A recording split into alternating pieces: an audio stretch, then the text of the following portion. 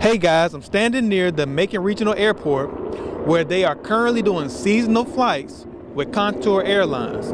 Now the first flight from Macon to Tampa Bay left at 3:45 p.m. this Wednesday afternoon and arrived in Tampa around 4:30 p.m. this afternoon. But I was able to see the first flight from Tampa Bay come to Macon, Georgia and land right here on the runway at 6:45 p.m. Now, I had a chance to talk to one particular tra- traveler, and she had a chance to tell me how much com- more convenient this was compared to other flights she's taken in the past. Here's what she had to say. The flight from Tampa was very calm.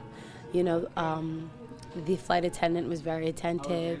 It was a quick flight, an easy flight, and all my needs were accommodated. You know, I got snacks, beverages. This flight actually was extremely convenient and beneficial for me personally just because Macon is not an airport that is that big, so there aren't that many flights that come into it.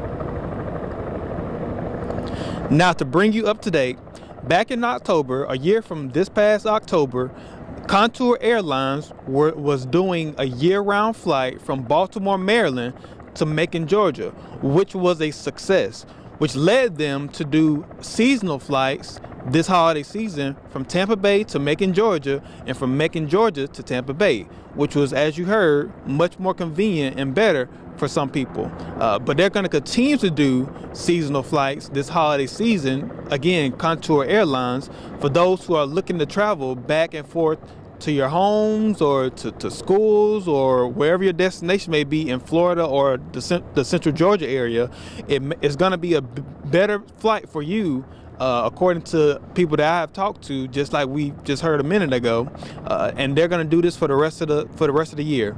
Uh, but for right now, reporting in Macon, Ricco Holston, WGXA News.